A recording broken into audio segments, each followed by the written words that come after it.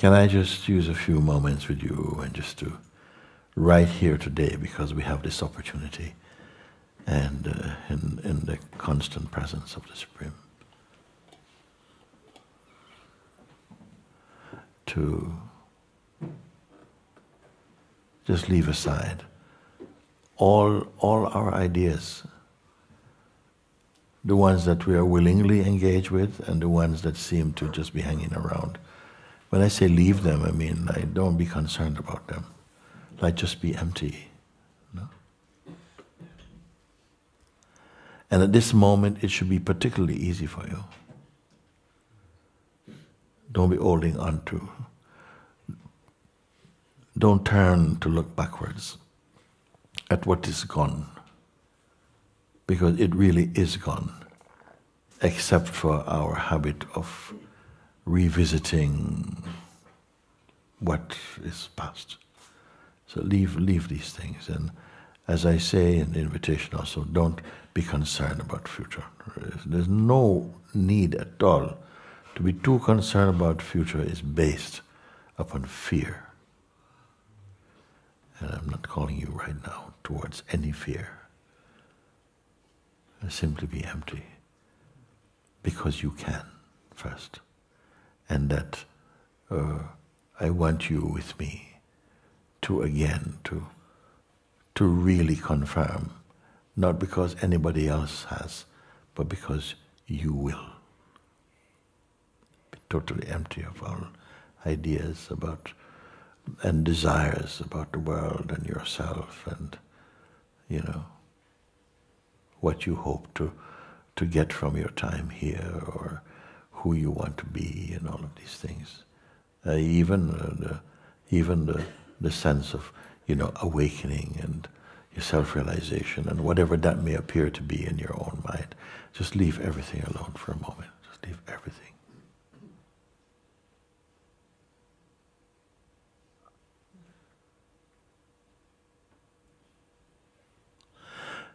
And any anticipation or mm, expectation such as okay okay yes i've done that what's what what now you know? No no no expectations no next. Simply just be where you are just be empty. Empty empty empty. The last seed that should be left in you is just the feeling of I.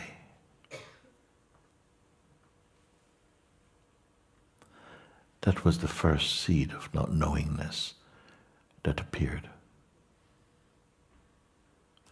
But whatever appear, even the most simple thing, it must appear in something that was already here. So I said, even before the first seed appears, of knowingness. Hmm? The sense I. Yes. This one. Yeah. This is the first knowing. Everything else is subsequent to it. So when I say empty, empty of everything, everything, everything, now maybe even just the sense of I, the, the vibration of knowingness that seed of existence that we feel, I exist.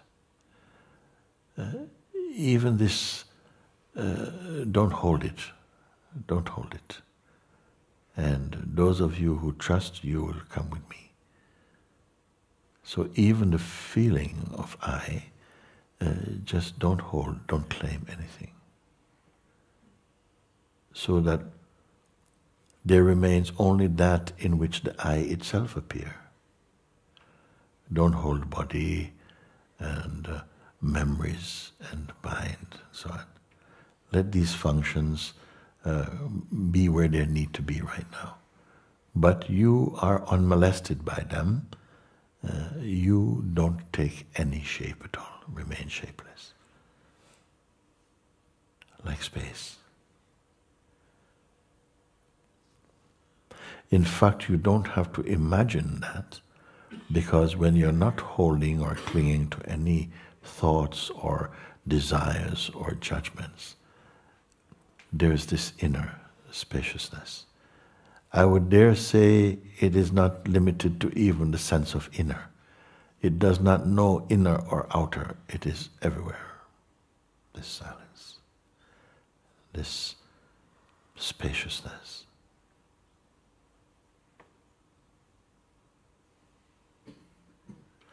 A kind of nothingness. And although the mind may be present and trying to give nothingness a kind of shape of nothingness, it is not necessary.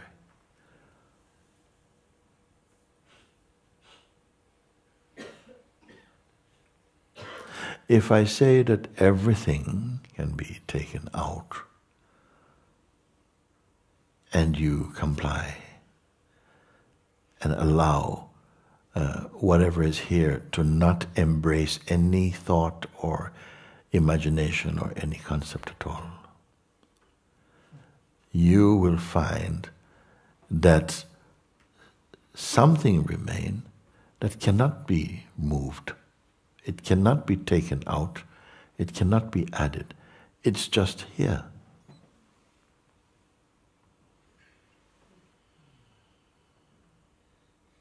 And it is self aware. It is not two.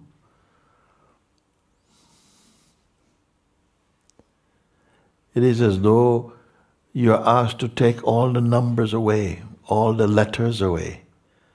Now there's only nothing, only zero, beyond even the concept of zero. It is very important that I ask you to do this. So that you can experience that you can be empty, your own emptiness. It is not something that you are creating, you're only discovering. This place called emptiness, we can use other words for it, but actually none of the words fit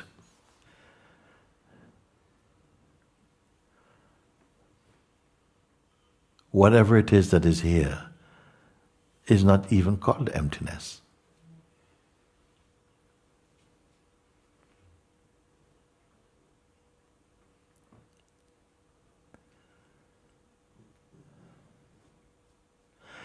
And I have asked you to come here. That I can ask and check in with you about you. I've asked you to leave everything, the usual activities and habits of the mind, the beliefs and the identifications, like leave them aside. I've not asked you to destroy them, but just not to engage. And you see how easily it is to simply be here. What is this here? This here-ness. Is it about being in any particular country? No.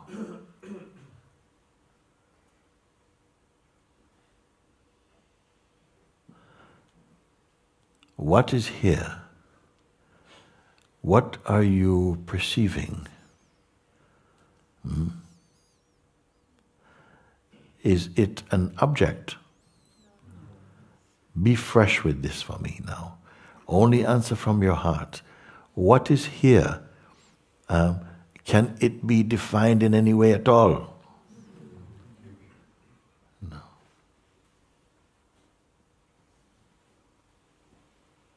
Does it have a form? Is it light or darkness?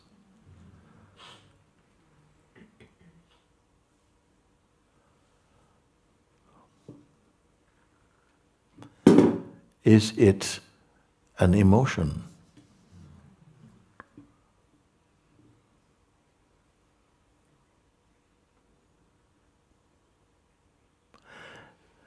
Is it a feeling? Like a very nice feeling? Can it be described as that?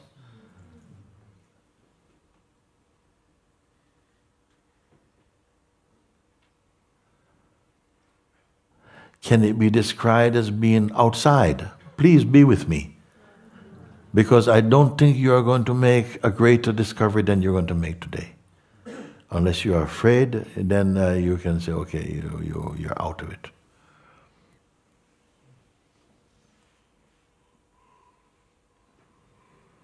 What did I ask you just now? Is it a what? Outside. Is it outside? Is it inside?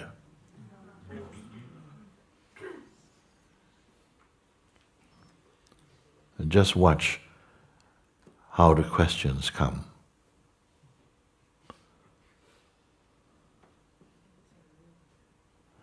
Is it a belief?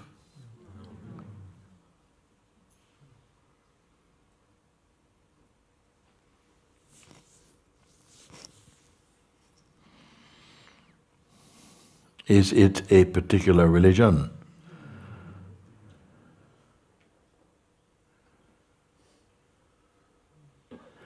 Is it a function? I'm asking each and everyone here this question.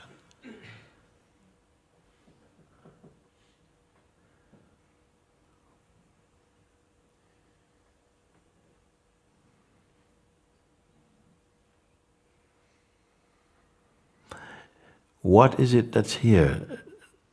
Did it arrive?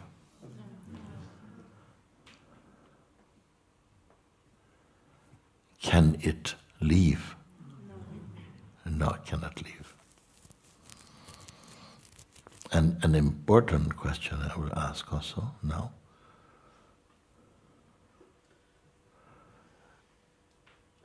Can it fade away?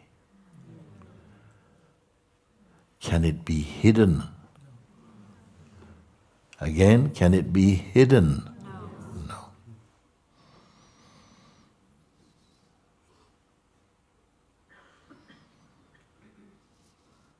It can be hidden. It can be hidden to itself. That's the game.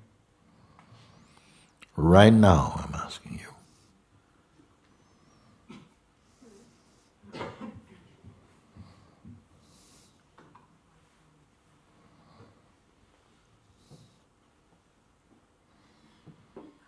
If you say it can be hidden, you're speaking about the quality of mind.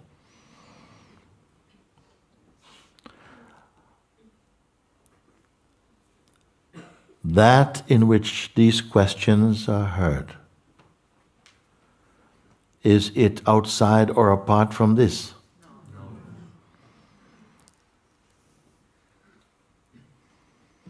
Can the mind exist outside of this?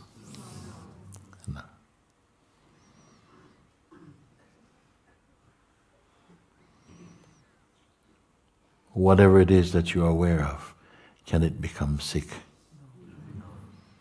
confused, depressed?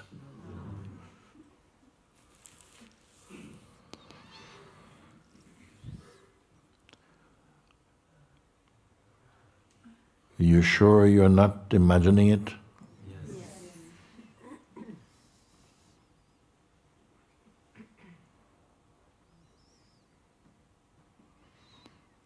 Was it created? No. Do you feel you have the capacity to answer this question? Then can it die?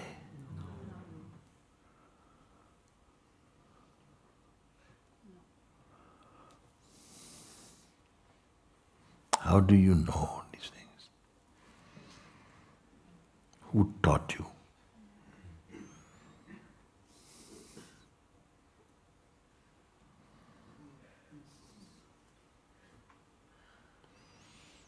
can it be lost?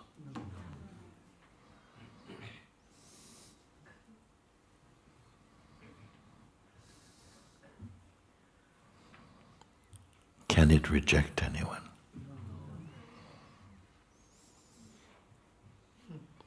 Does it know anyone?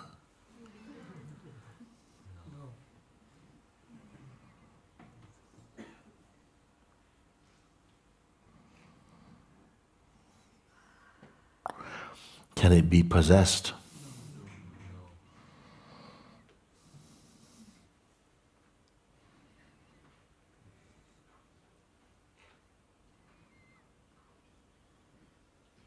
Can it be dissolved? No. Okay. What you are aware of where, are, where is it being seen? How, how far from you is it? From the place, from that which perceive? How, how far is it looking to, to, to look into these things? There is no distance.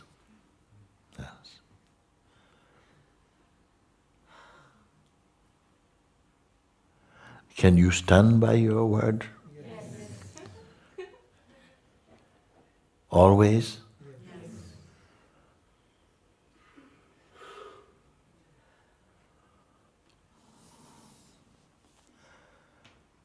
then if this is so, you've never studied this. You never studied this. You did not borrow this knowledge from somewhere. You confirmed out of your own self and source. It cannot die, it was not created, it cannot fade. It is unbound. It cannot be possessed. It cannot be lost. It is without mood. It was not born. It cannot die.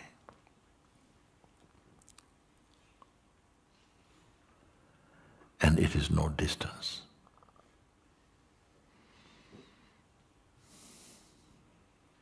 Can it change? So if these are things that you can confirm without even thinking such about it, then it must be that you are speaking about yourself.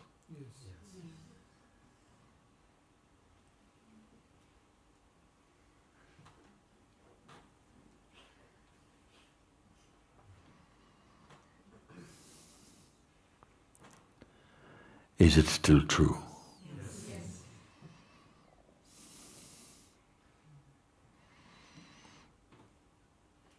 Is it arrogant to think like this, to know this thing, to express these things?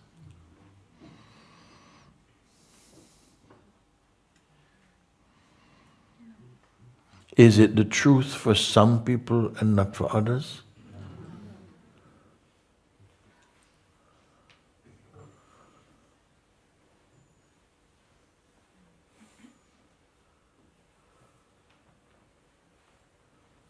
Then today you are confirmed in the truth.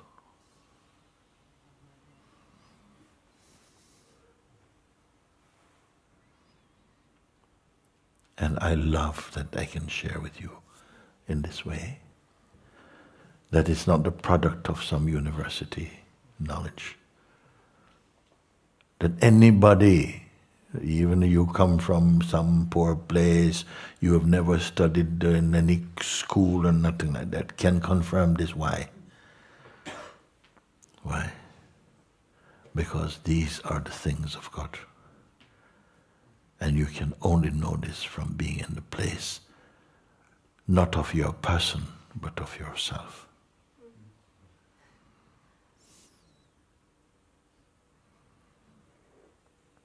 And yes, your mind will come.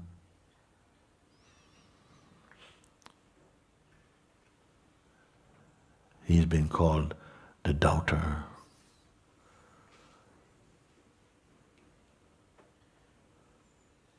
It will come to raise doubt in your mind. Yeah, but you know, today I'm not feeling like that. You know, it's not.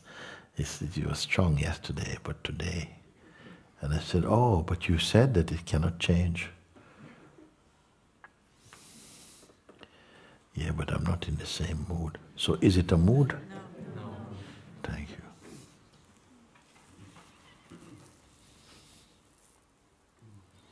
So that you, out of your own being, can confirm that authority you have. Did you speculate? No. Did you imagine?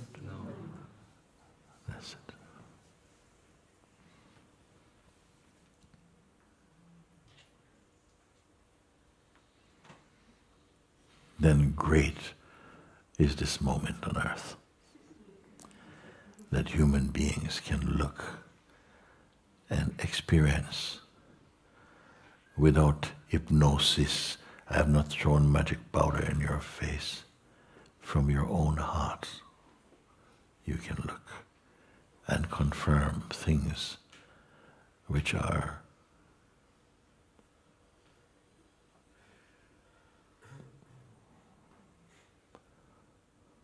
largely re- regarded as unknowable to the human mind.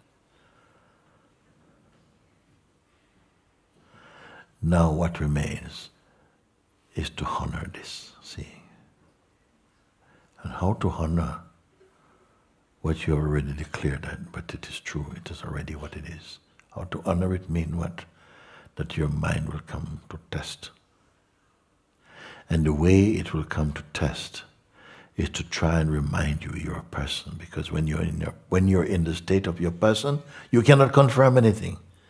You'll feel doubtful, you'll feel tired, you'll feel no, I'm not ready. Could you let me give me some time to get into meditation and I can answer your question and so on.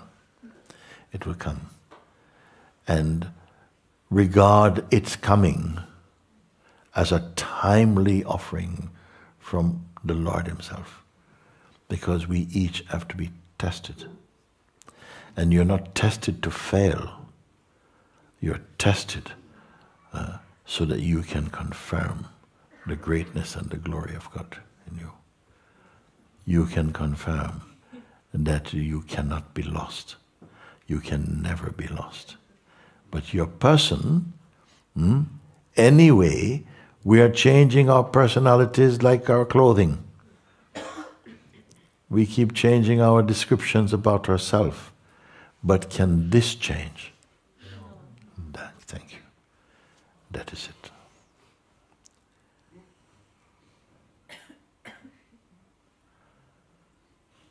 Then may your heart always remind itself of its sublime perfection.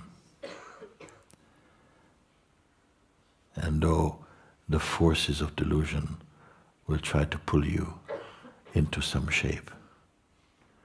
Know that you are ready beyond that. You are shapeless with shape. You are timeless with time. You are the formless in form.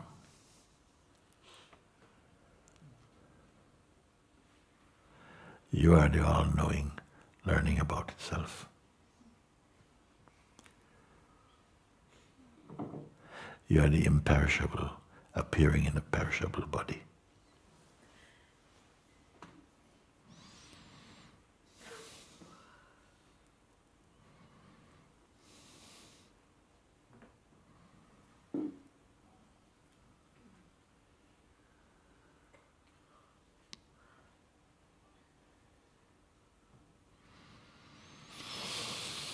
Thank you.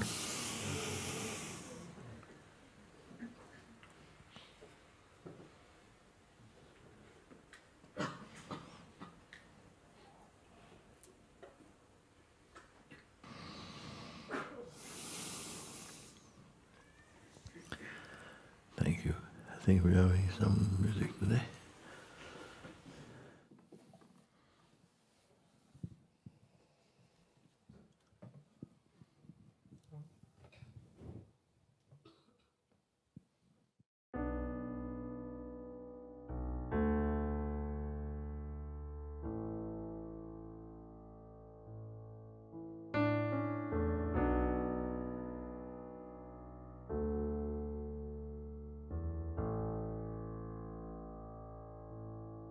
I live for you,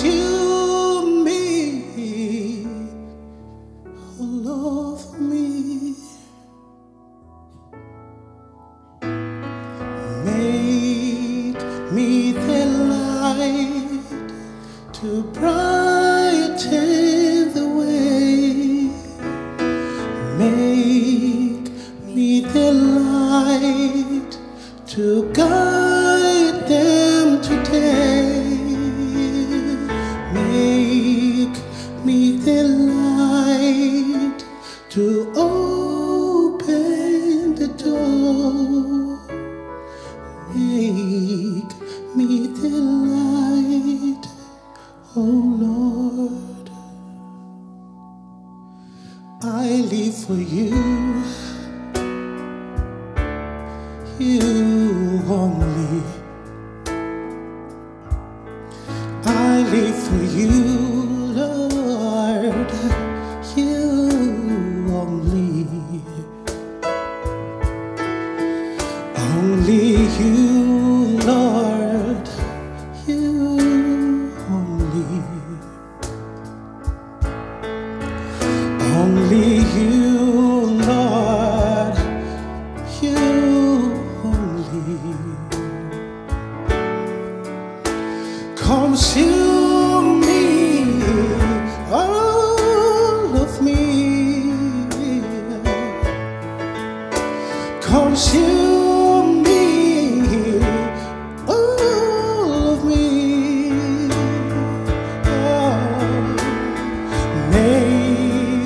Make me